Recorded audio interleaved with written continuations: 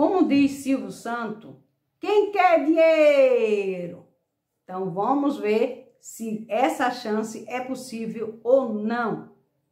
Eu sou Verusa Figueiredo, sejam todos bem-vindos a mais um conteúdo aqui no canal VF News, tá bom? Olha só, pessoal. Banco Central diz que clientes de bancos têm cerca de 8 bilhões a receber das instituições. Como assim, Verusa? Como é que o banco vai devolver para os seus clientes? Olha só. Valor é referente a tarifas cobradas indevidamente e saldos não sacado. Por exemplo, o BC anunciou criação de sistema para pessoas e empresas é, consultarem se tem direito a receber algum valor, certo? Olha só, o Banco Central informou nesta terça-feira, dia 1 de, de junho, que os clientes de bancos terá é, cerca de 8 bilhões em receber dessas instituições. Esse montante, conforme o Banco Central, é referente às parcelas e tarifas cobradas de forma indevidamente, além de saldos não sacados após encerramento das contas, por exemplo. Segundo o banco, parte das, das pessoas não sabe ou não se lembra que tem dinheiro a receber. As informações foram dadas durante o anúncio da criação de um sistema para que a pessoa ou empresa possam consultar se tem algum valor a receber. A expectativa é que o sistema esteja funcionando em dezembro.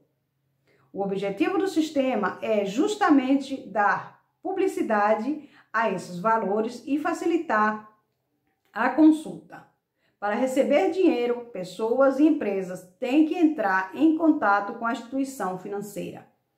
Abro aspas. Além disso, a respectiva a expectativa de recebimento desses valores baixos pode não motivar as pessoas a procurarem a instituição financeira com as quais mantêm ou mantiveram relacionamento atrás de informações, fecho aspas, afirmou o Banco Central em nota. A expectativa é que o sistema esteja funcionando em dezembro de 2021, informou o Banco Central. O programa vai se chamar Sistema de Informação de Valores a Receber, CRV ou CVR.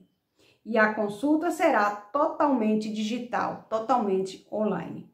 O sistema será alimentado pelas seguintes informações que o banco e as demais instituições financeiras precisam repassar para o Banco Central. Primeiro, conta de depósito em moeda nacional encerradas com saldo disponível. Segundo, contas de pagamentos pré-pago e pós-pago encerradas com saldo disponível. Terceiro, contas registradas mantidas por sociedades corretoras de títulos de valores mobiliários, por sociedade distribuidora de títulos e de valores mobiliários utilizadas para registro de operação de cliente encerrada com saldo disponível.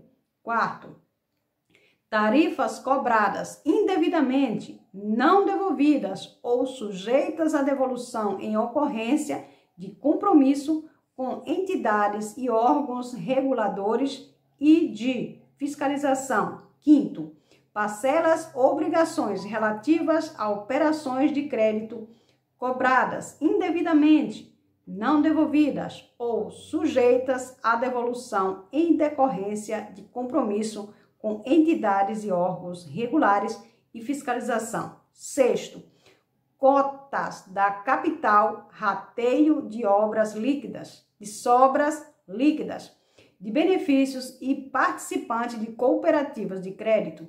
Sétimo, Recurso não procurado relativos a grupo de consórcios encerrado.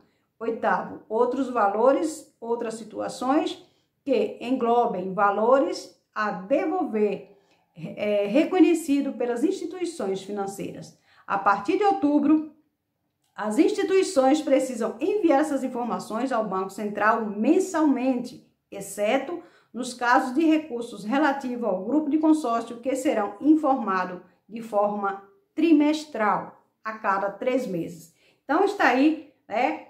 Uma nova chance, um novo dinheirinho pode estar surgindo a partir de dezembro de 2021, afirma aí o Banco Central.